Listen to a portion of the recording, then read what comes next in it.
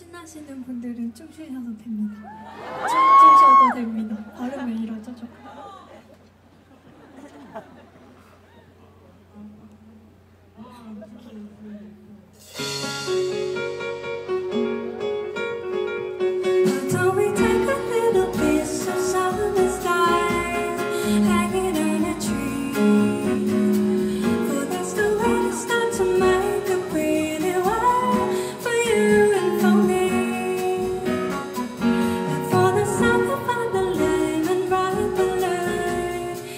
thinking of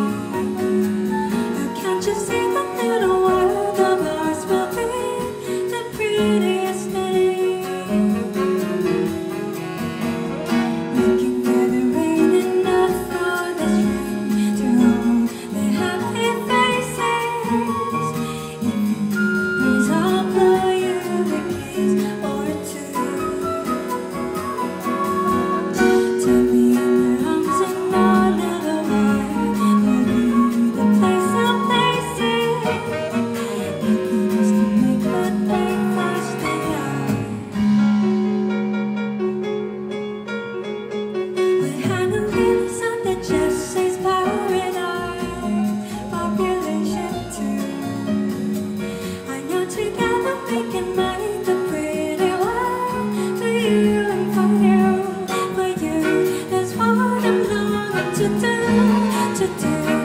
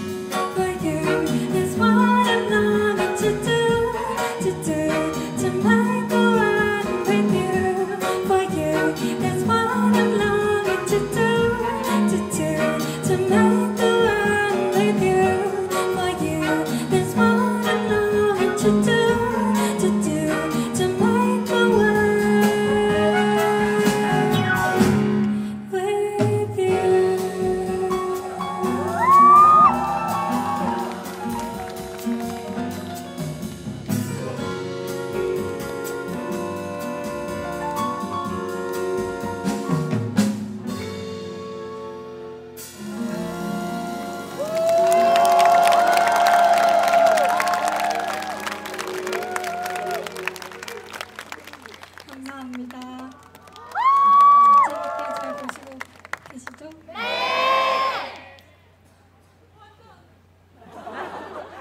원래 멘트 비율을 약간 7대 3으로